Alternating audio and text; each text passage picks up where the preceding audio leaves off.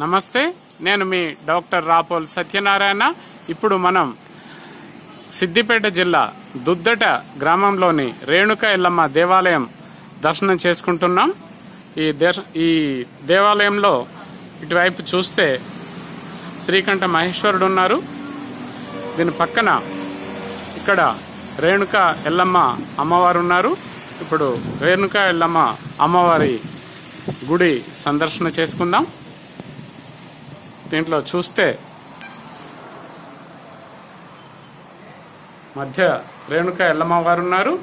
రేణుక ఎల్లమ్మ వారికి కుడివైపున జమదగ్ని మహర్షి ఎడమవైపున పరశురాములు కుడివైపున ఇంకా ఏకనాథ్ యోగినాథ్ విశ్వనాథ్ దేవనాథ్ విగ్రహాలు వినాయకుని విగ్రహం ఉంది.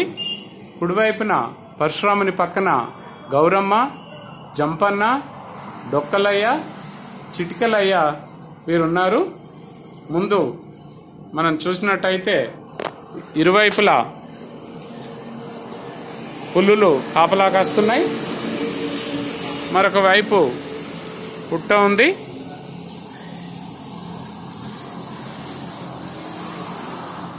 ఎదురుగా కూడా అమ్మవారు కాపలా ఉన్నారు. ఈ రేణుక అమ్మవారి దర్శనం సకల ఇప్సితార్థాలను తీర్చుతుందని భక్తుల విశ్వాసం. ధన్యవాదాలు.